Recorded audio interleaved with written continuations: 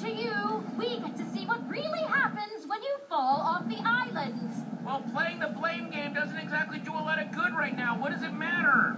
It matters because my entire city is doomed thanks to you. Hmm, I can't decide.